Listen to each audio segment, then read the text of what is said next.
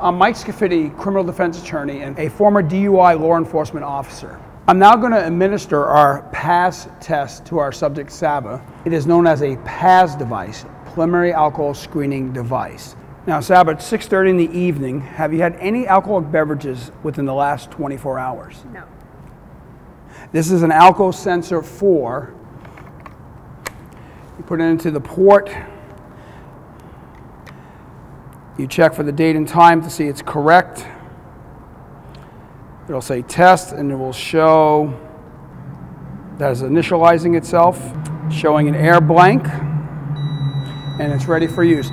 Now keep your hands down to your side. I want you to blow in, keep blow, blow hard, hard, hard into the port.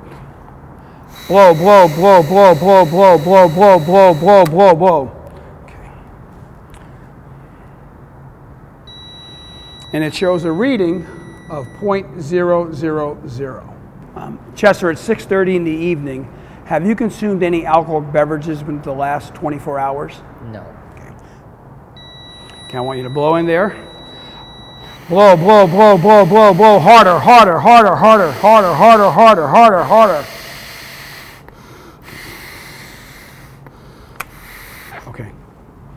What happens has to be a continuous sample. So what I did here was I did a manual trap because Chester wasn't giving a, a long enough breath blow for the machine to register. So this device, the Alco Sensor 4, allows the officer to trap a manual sample, which is what I did, and the reading was 0.000.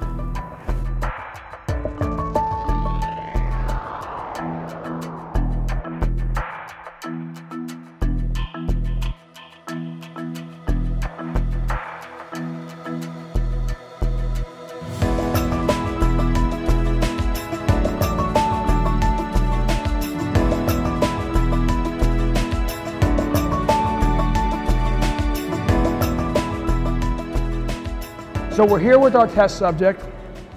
We've now waited 15 minutes from the time of her last drink to right now. We've had a continuous observation period of her. And how many drinks have you had this evening? Three drinks. And what were you drinking? Jameson. Okay. I want you to blow into there. Ready? Begin. Go, go, go, go, go, go, go, go, go, go. Good. Good job. Okay. Now the machine has captured the sample. 0.077. We're here with our test subject, Chester. We've waited 15 minutes since his last drink. We've had a continuous observation period of Chester. Chester, how much have you drank this evening? Three drinks, about approximately four ounces. And what were you drinking? Jameson. Okay. All right. And blow. Harder, harder, harder, harder, harder, harder, harder.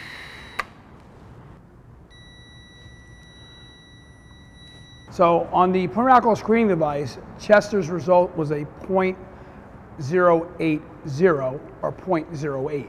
At a 0.08, there's an inference in the law that he's intoxicated or impaired to drive a motor vehicle. So at this point, based upon this PAS results and the totality of the test that Chester took this evening, undoubtedly Chester would be arrested by a police officer.